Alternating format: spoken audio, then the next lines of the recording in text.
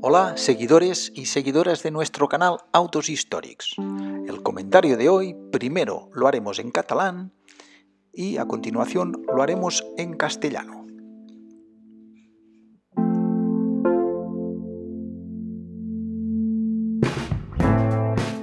Un nou reportatge d'en Ramon Tapioles.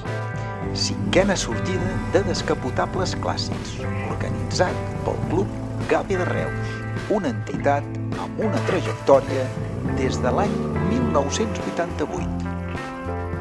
Els assistents es trobaven aquest passat diumenge 12 de juliol a la plaça Univers de Reus per recollir les acreditacions corresponents a la sortida.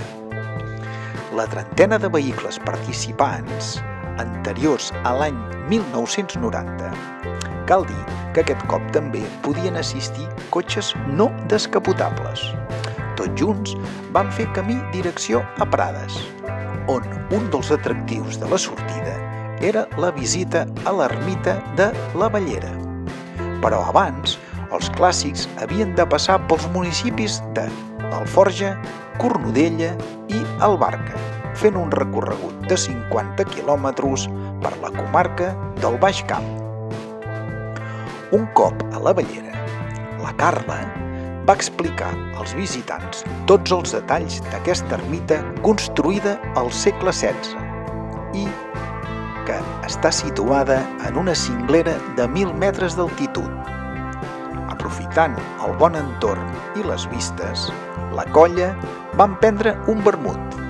Tot seguit, el grup els esperava un dinar per finalitzar la trobada.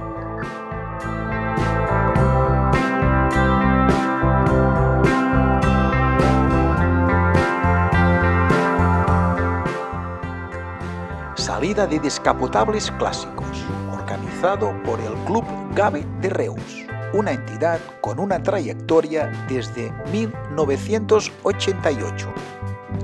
Los asistentes se encontraron este pasado domingo 12 de julio en la Plaza Univers de Reus para recoger las acreditaciones e instrucciones correspondientes a la salida.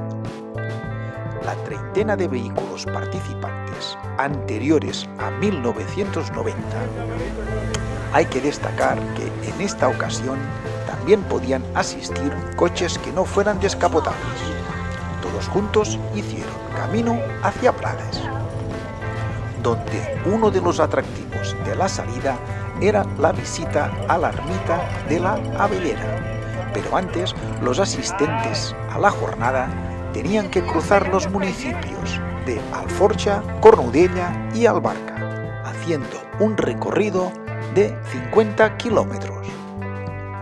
Una vez en la Bellera, la Carla explicó a los visitantes todos los detalles de esta ermita construida en el siglo XVI y que está situada en un risco de mil metros de altitud.